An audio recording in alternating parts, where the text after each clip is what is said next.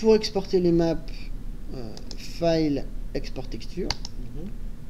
Donc on peut utiliser euh, dans Output Template un template PBR Metal Rough qui est, euh, PBR Metal Rough qui est le template de base, sachant que par défaut Unreal travaille en Metal Rough, donc bon, ça marche aussi. La seule différence c'est que le PBR Metal Roughness, celui-ci précisément correspond plutôt à un export de type film, pas un export de type jeu.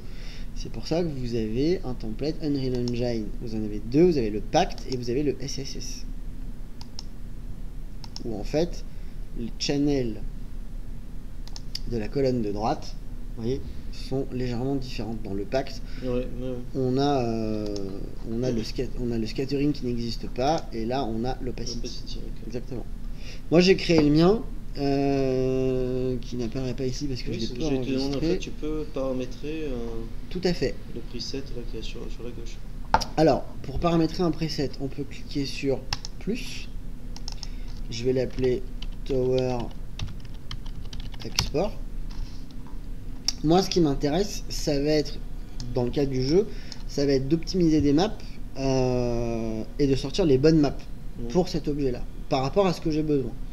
Donc ça veut dire que euh, faut faire idéalement autant de templates euh, qu'il existe d'objets. Donc euh, on peut avoir 5-6 templates différents, voire une trentaine. Alors, comment se décortique cette fenêtre? Cette fenêtre, elle est importante à comprendre parce qu'en fait, elle fait la passation vers Unreal. Vous avez trois colonnes, enfin il y a trois colonnes, il y a Input Map, Mesh Map et Convert Map.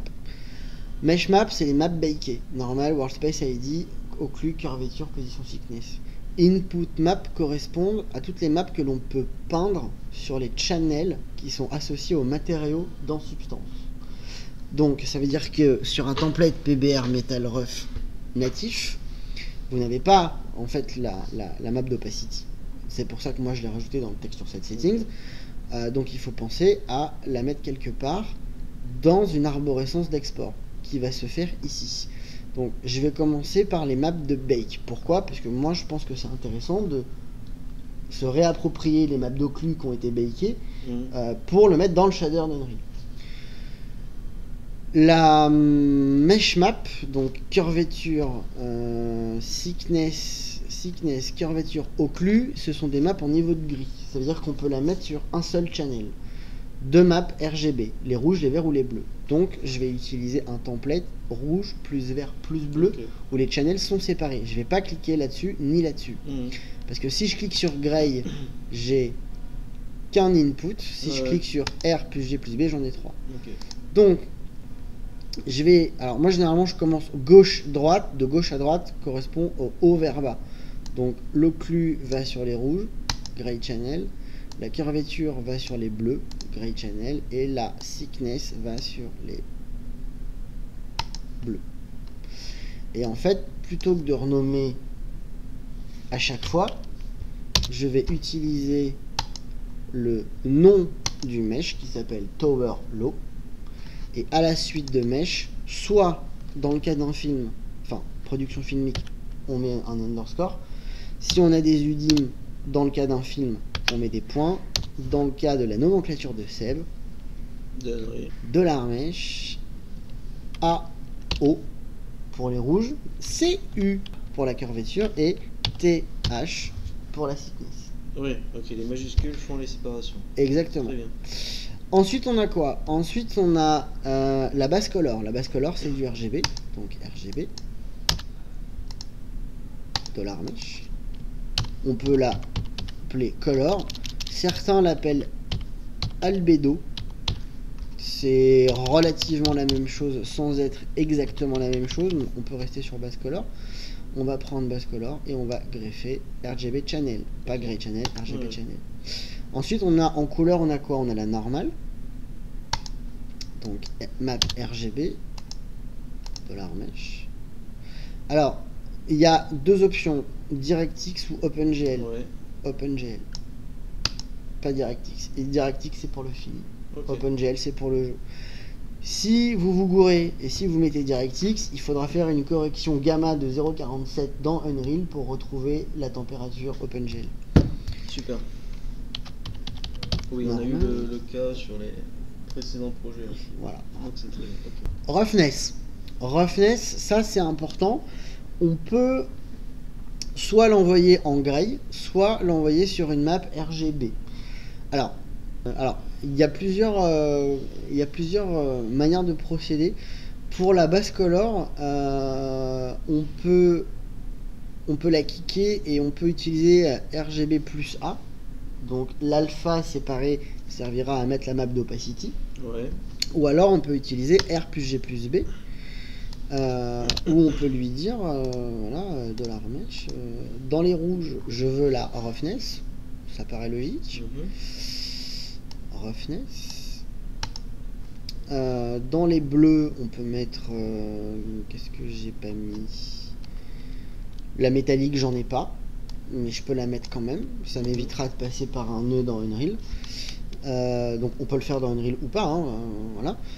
Et il manque l'opacité bah l'opacité je peux la mettre euh, là.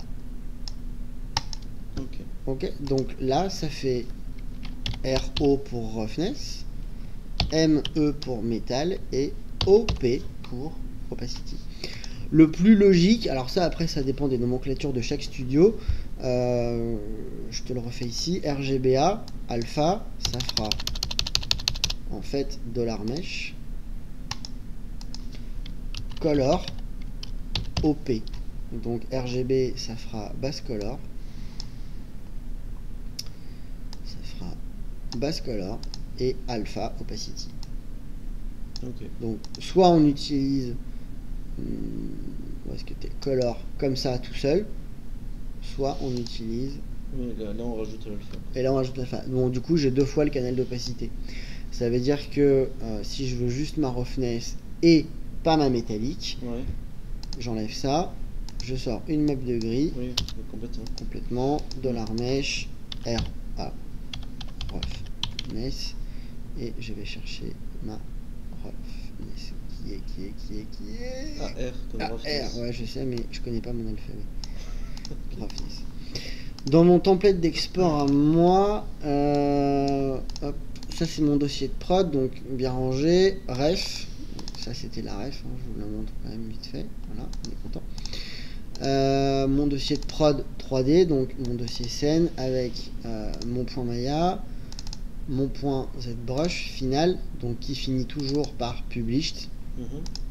euh, mes textures, donc ça c'est le point substance, et où est-ce que je l'avais foutu? Un dossier published qui correspond en fait à mon low poly qui s'appelle Tower, plus mes versions EXR.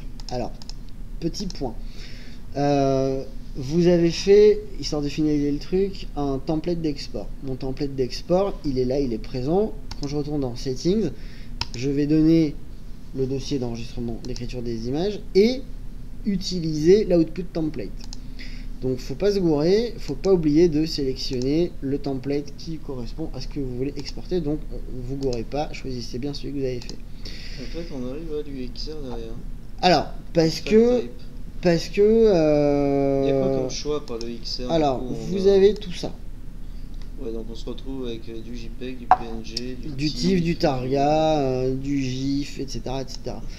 Euh, Donc, pourquoi UXR du coup? Parce que le XR utilise la version linear color. C'est du 32 bits, float. Ça intègre l'intégralité du spectre colorimétrique numérique. D'accord Donc ce sont des textures qui sont extrêmement lourdes, mais qui sont extrêmement de bonne qualité. Euh, mais je crois qu'on s'en fout, puisque de toute façon, quand tu compiles dans Unreal, lui, il te, fait euh, sa propre version. Par contre, vous conservez les aspects colorimétriques. Si vous sortez en PNG ou en bitmap ou en JPEG, vous n'aurez pas la même version color, donc il faudra utiliser soit l'espace colorimé- colorimétrique sRGB pour, euh, on va dire, euh, compenser le- le- le- le- la différence de température des couleurs que vous avez entre les différents types d'export. Donc moi je préfère le XR, je sors une résolution de 4K, de 2K, de 1K, de 512 euh, comme vous le souhaitez selon la map. Bon, dans tous les cas, euh, là on est en non destructif. Attention, une chose, quand on bake, on est destructif. Donc si vous bakez en par exemple, 512 et que vous exportez en 4K, vous allez stretcher les maps bakées. Et faut faire gaffe parce que moi, dans mon workflow, je réutilise les maps bakées dans mon texturing apparent dans le viewport. Donc c'est pour ça que je bake toujours en 4K. Je vais sortir du 2K, c'est très bien, en EXR. Euh, padding, attention, pensez à choisir Default Background Color. Euh, ne mettez pas no padding parce que visuellement ça fait un peu bizarre sur la map dans Unreal, ça vous mal aux yeux. Euh, bref, voilà, c'est un petit tip à utiliser. Vous pouvez exporter les paramètres de shader actuels en PBR pour vous aider dans Unreal afin de retrouver mhm. à peu près la même chose. Je dis bien à peu près la même chose parce que si vous voulez avoir exactement la même chose, il faut exporter le diorama et le charger dans Unreal pour avoir les mêmes valeurs de luminance et il faut surtout, et ça c'est beaucoup plus compliqué, euh, avoir le même flou de lumière, donc la même intensité de lumière dans Substance que dans Unreal, sachant qu'on est sur une valeur de 1, donc il faut rebasculer la, lampe euh, à 1 dans Unreal. Ok. Ok?